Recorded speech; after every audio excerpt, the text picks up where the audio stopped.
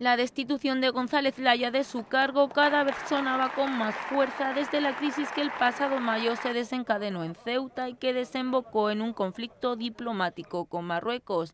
Ahora es el nuevo ministro José Manuel Álvarez el que tiende puentes al país vecino. Tenemos que reforzar aún más nuestras relaciones, especialmente con Marruecos, nuestro gran vecino y amigo del sur.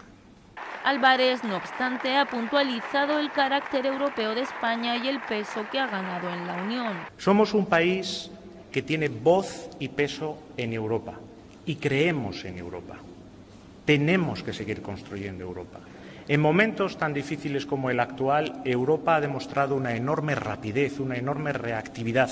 En su despedida, Laya ha dicho que se trata de un momento agridulce y ha evitado centrarse en el reino alawita, destacando, eso sí, la apuesta del gobierno por reforzar las relaciones con los países africanos. Como la lucha contra el terrorismo, eh, como lo sabe muy bien eh, Fernando, el impulso a la vecindad sur de la Unión Europea, la gestión de la migración, o la diplomacia económica. A la gestión de la Haya se le achacó en su momento la condescendencia mostrada con Marruecos y la falta de firmeza y claridad en sus decisiones cuando el país vecino propiciaba la entrada de miles de personas en España por la frontera del Tarajal.